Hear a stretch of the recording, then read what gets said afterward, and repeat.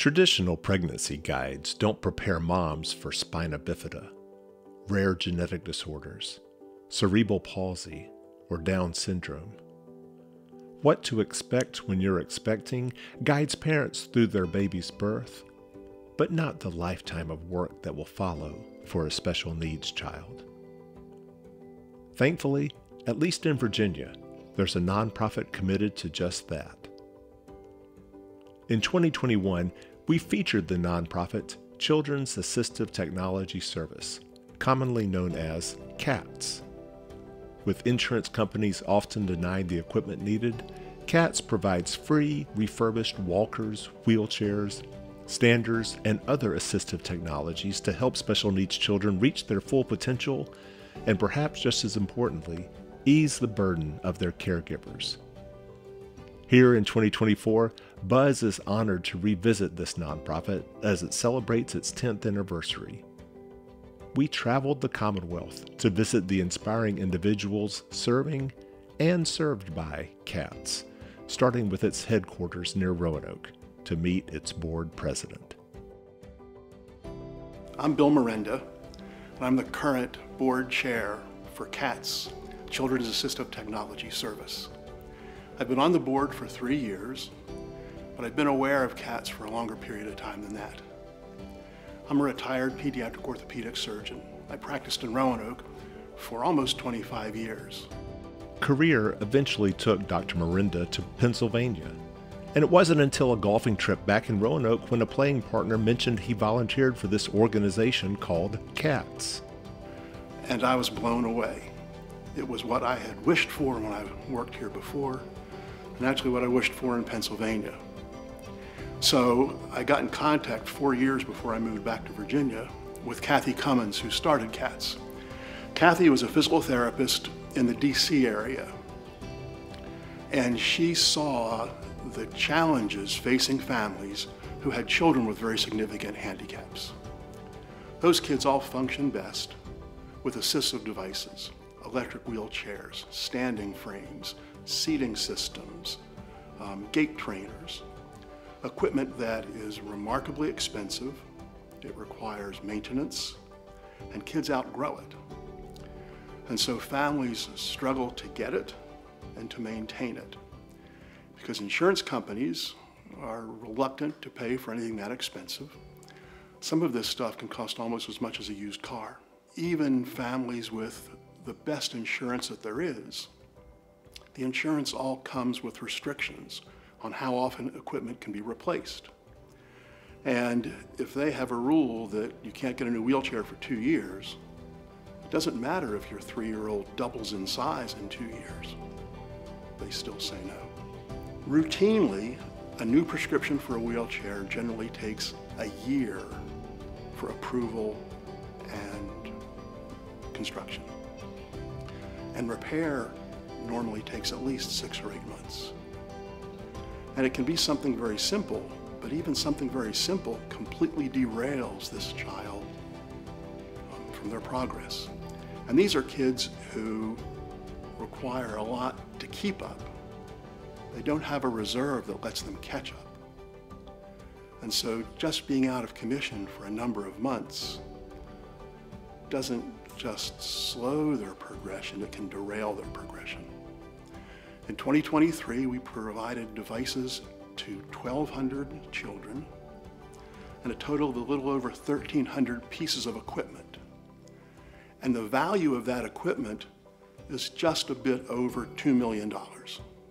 When that mom turns to us or turned to me for help, I was so enthused to be on that team. We wanted, we want to provide all the support we can to parents like that, to let them do their best and let their child do their best. That's a special reward. Bergen's here. Our next stop, the bucolic Bedford home of Avon Alford, where we met her oldest of three daughters, Bergen, who was born with cerebral palsy caused by a gene mutation. Avon and her husband, both former college athletes, struggled not only with the physical demands of caring for their beloved Bergen, but the emotional and psychological challenges as well. Uh, that life for a long time was very overwhelming. Um, constant therapies, getting used to the round the clock care of, you know, um, meds and like all I wanted to be was her parent. I was getting very overwhelmed and frustrated with the fact that I had to do so many other things. All I wanted to do was sit on the couch and just snuggle her, but instead I could only think about all the different things that we should be doing to work towards her therapy goals or her speech goal. You know, like there was just always something else that I should be doing with her. And the weight of not doing those things with her was heavy. The risk was her future. But at the moment, all I wanted to do was just be her mom. Avon's first equipment frustration resulted from needing a bigger chair in which to bathe her daughter. The next thing she needed was a wheelchair or an adaptive stroller. And so that we actually went at the time. CATS was operating out of a um, storage unit down in Rocky Mount. And so I went with the physical therapist to go pick up this piece of equipment, and that's where I met Kathy Cummins. And it just blew my mind. I couldn't believe it. We're like going to leave here with this piece of equipment. We just waited six months for a gait trainer and had to drive all the way to Charlottesville to get it. Like I get to leave here with this stroller today. Just, yeah, absolutely. And it's free and there's no paperwork and there's no, like what? This is too easy. And I told her at that point, please, if you ever need anything, let me know. I knew the second I had my first experience with cats that I didn't want to live in a world where cats didn't exist. I needed cats to be able to properly care for my child. Like any mom with a firstborn special needs child, Avon wrestled with whether to have more kids. Selfishly, I think my thought process behind that was like, look, I'm not going to get, I don't, I'm not going to be able to, you know, you're not going to walk her down the aisle, babe. I'm not going to be able to take her to pick out a prom dress. You know, if if we're so distraught and upset and sad about missing out on these things, why don't we just make sure we don't have to miss out on these things? You know, and we knew we wanted other children, but this is this is what's kind of, it's crazy. Bergen should be like makes me cry, but we didn't know how bad we needed them. And I knew as soon as Charlotte was born that she was safe. You know, we didn't know at the time whether the gene mutation, they knew that neither my husband or I were carriers of the gene mutation. It was a complete de novo or whatever they call it. It was completely random. Um, so there was a chance, or so we thought, that it could happen again. And I knew right away when she was born that she didn't have it. I knew it. And we did a lot of blood work and about a month later, they called us to tell us that she was in the clear. And even though I knew it, that phone call was just, you know, so good to hear. And she healed all of the holes in our heart. Charlotte and Addie are so lucky to have Bergen as an older sister. They they also have a perspective of life on life that not very many people get, let alone children, get to have at seven and five, they have empathy, you know, and they understand that the world does not revolve around them, that there are people in this world that at times are more important, whose needs are more important to theirs. She wouldn't have been able to go to school this year if it weren't for cats. We ordered her a new wheelchair uh, on March 14th, so five months ago, yeah, tomorrow, and we still don't have it my dream of her to be completely included in society is something that CATS helps to facilitate. Without a wheelchair, you don't have access to a community. Being a care a full-time caregiver and a parent is an incredibly arduous task. It's very overwhelming, you know, to know that this is my life for the rest of my life, you know. Um, I will be caring for Bergen until I no longer physically can. So to have the time to myself to do whatever it is I want, you know, to do with that time, or just to take a breath allows me to be a better caregiver to her and a better parent to her. And I feel incredibly grateful that, you know, she has. Without cats, uh, Bergen would have missed out on a lot of life. Without cats, um, I may not last as long being her caregiver, you know. Um, without cats, we could lose access to our community. Without cats, you know, it doesn't feel like anybody truly cares about us the way that cats does.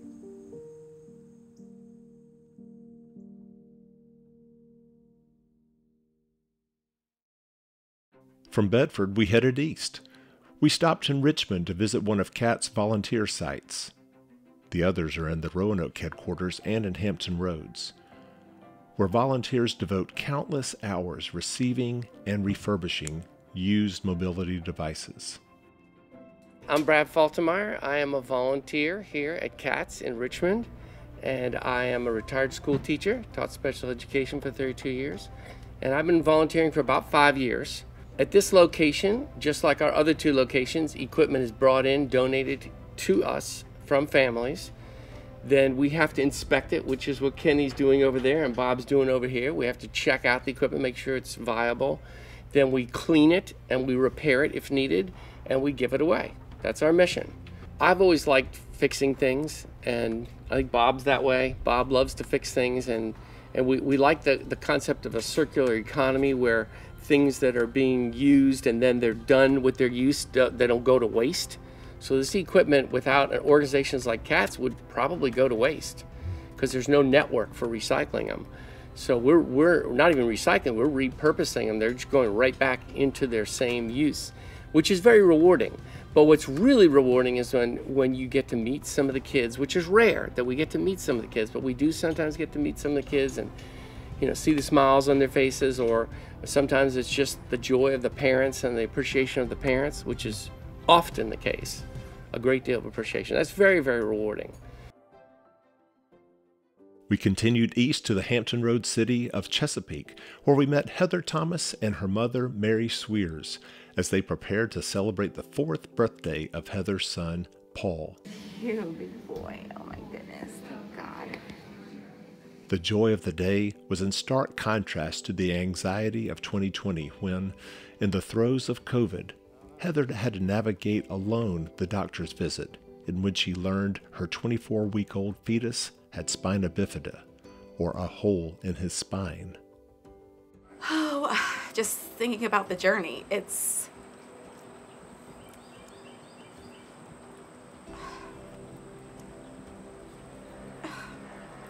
You go, you know, you want like a healthy, everyone wants a healthy baby, you know, nothing to go wrong. And, you know, you get the call that there's something wrong and you're by yourself. Not, I mean, you are, you're by yourself. It was hard. It was a lot. A and lot. then she had to have an amniocentesis that, That day, day. all by herself. They, she did the amniocentesis. When she got out to the car, she collapsed in my arms and just sobbed. And it, it was, but it was like not that we wanted the perfect child, but we wanted the perfect opportunity for this child. And it's been a fight from day one, which we're up for the fight, aren't we? Yeah, yes. whatever it takes. But we've had to fight doctors. We've had to fight, you know, specialists. We've had it's it hasn't stopped. It's been a fight. So it takes us an army, It does. and we've been with him together. Like we're a multi generational home here now, and we've been together with him since day one. A risky in utero surgery to close Paul's spinal column was the first of many medical milestones for the family. But when it came to getting the equipment to meet those moments, be it a stander or mobile wheelchair, CATS was always there. Insurance companies take like six months at least to get you the equipment that you need. So, you know, we would have loved to have, like, we got, you know, um, asked for a floor seat for him to be able to sit up straight. And we didn't get it till he was already out, had already outgrown it. And um, so by that time, I had, you know, it was like we needed this six months ago. So the blessing of cats was that you can get the equipment that you need, but the time that you need it, so that you can help your child grow. Really, um, it's allowed him to be outside when we're outside with the family, when we were visiting, you know, aunts and uncles and cousins. And at school, you know, Cats was able to provide a walker, a Nimbo walker for him to use at school. So, you know, be like another kid in the class because of cats. So I think it helps them feel like a part of the group. Mommy, can I go get it? We'll get when go downstairs. I want to bring it up. I mean, we're a family of faith, so we definitely lean on our faith a lot, but it would be difficult because Paul would not be able to move around as much as he can now. Um, he would have to be carried or um, be delayed, and now he probably wouldn't even be walking right now because he would have to lean on other people to help him do it himself, which is okay, but it's also hard on the body, it's hard emotionally. Cats gives the kids the ability to like look forward to the future and to say, "Oh, I will be able to do these things because I have the equipment that I need." Our last stop was the home of Brittany Wilson, where we met physical therapist Missy Rose, who also serves as CAT's clinical director, ensuring special needs children are matched and fitted with the proper equipment. Children like Brittany's three year old son, AJ. So I started with AJ when he was about six months old through early intervention. And um, when we first started, he wasn't really making eye contact, he wasn't rolling, he wasn't holding his head up. Um, and it was really scary because we were even still just working on him getting general range of motion. Um, but the more he participated and he saw that I was there to play, because physical therapy for kids should be playtime, um, then he realized he could trust me. And once he started trusting me, then I looked into cats to see what kind of equipment we could use to help him want to move. Because moving is scary because it was hard and sometimes it hurt. So we had to make it as motivating and as fun as possible.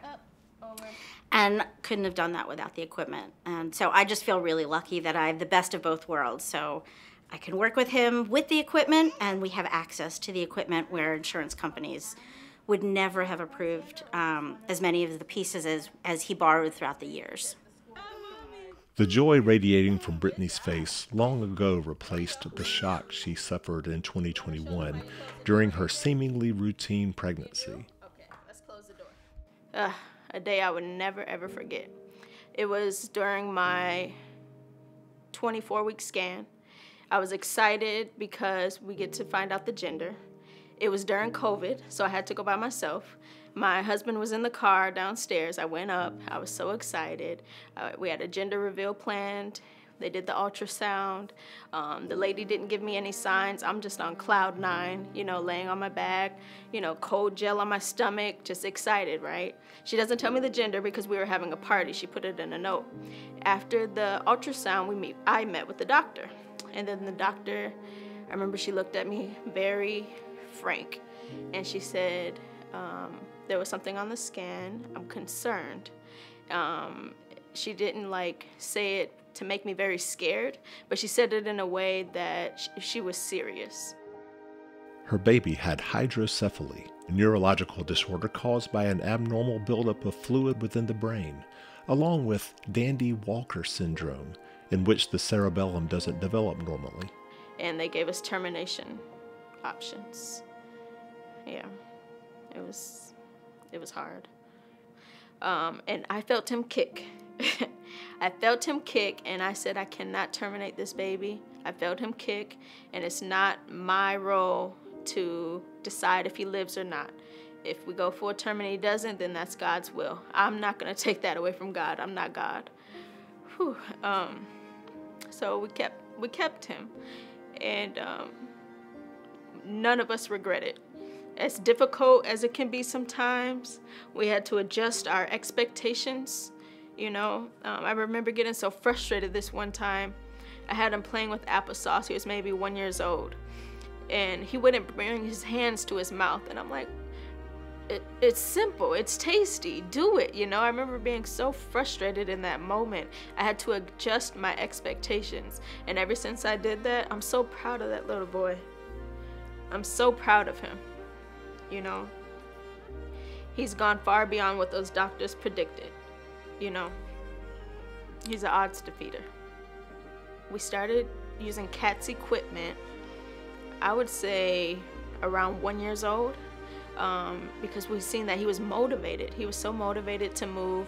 Of course, he has his delays, um, but they were able to access equipment so that we can see what to order through insurance. And so that was very helpful for us because we can't waste money ordering equipment that he's not able to use or that he's, you know, uh, he's not ready for yet.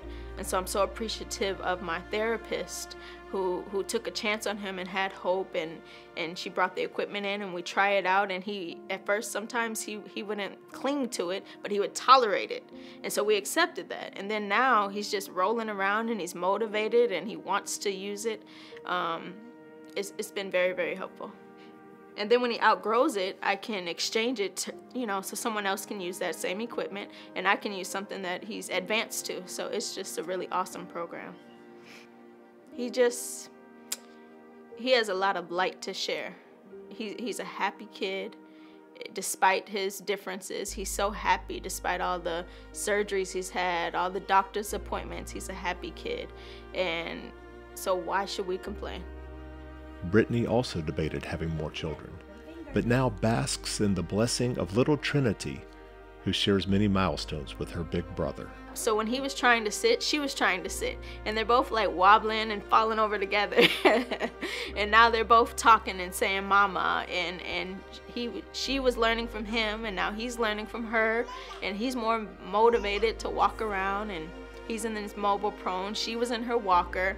They're colliding with each other. So it's really beautiful to watch each milestone and I don't compare them. They're in their own lanes, their own race and I'm just thankful that I can accept that. Without cats, he would be sitting on a couch or sitting or laying. And, and that's not working on his skills. That's not propelling him forward for his potential. I do believe my son is going to walk, talk, and thrive. I do. I strongly believe that. I don't know when it's going to happen, but it's going to happen. It, and I'm not, I'm crazy enough to even admit it. That's crazy, right? It is. Yeah, it's, it's being a mama. Yeah. In our 2021 episode, we highlighted CAT's biggest fundraiser of the year, Hallow Wheels, in which special needs families transform their child's mobility devices into spectacular, make that spooktacular, Halloween costumes. Photos are posted online, and for just a dollar a vote, anyone is invited to pick their favorite costume. Our good friends at Five Points Creative donated a website to the cause, hallowwheels.org. And for this 10th anniversary, reconnected us with Easy Mobility Solutions to give the big fundraiser more buzz. I started doing ramps in early 2000, and uh, one particular ramp, the woman was really eager to get out on it. And when I finally said, ma'am, just wait just a second, she said, oh, honey, you don't understand. I haven't been outside on my own in two years. I haven't had the sun hit my face, and I just want to go get my own mail. And it was then that I really realized that what I was doing really made an impact and what these devices do for people, whether it be a ramp or a scooter or a wheelchair, what freedom it gives people to start living their lives fully. So we have happily and proudly supported Hallowheels over the last seven years, and we're really excited about the program. We think it's a great thing. So this year, we're going to donate $4,000 of our TV budget to educate people about what Hallowheels is and about what CATS is, and we're really excited about this. Hallowheels is our most important fundraiser, and these dollars go directly to kids in Virginia make a tangible difference in their life. We believe that CATS has had an important impact in Virginia over the last 10 years. but we see an even greater impact over the next 10. There are more children that we need to service, and these dollars will help us do that. Thank you.